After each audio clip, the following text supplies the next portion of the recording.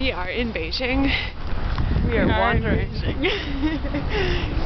we managed the subway on our on our own. It wasn't very hard though. No. But, they checked us. Impressive. It does. It does. We had to pass our bags through a like an airport security check type thing. Oh, I think this is it.